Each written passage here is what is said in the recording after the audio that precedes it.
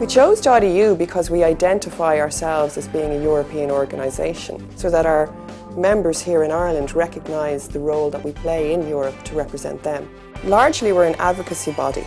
Our members are insurance firms. They trade within the Irish market and also trade overseas in foreign markets. So our job is to be their voice here in Ireland and also within Europe. The clients of our clients are the end customer. These are the people who use insurance products every day in their lives. And it's important for our members' customers to understand our business. One of the important things the website does is it gives us reach into our membership base. We're aware that financial services are hugely complex and at the end of the day, our members and we as an industry want our consumers to feel safe and secure in interacting with us, to understand how we operate and what our business means to them and what it means when they buy a product or service from one of our members.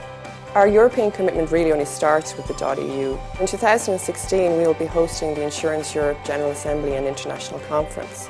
So that will see somewhere between 600 and 800 international insurance representatives coming to Dublin for our conference. This is the first for this country and a huge opportunity for us to profile ourselves here domestically, both in Europe and internationally.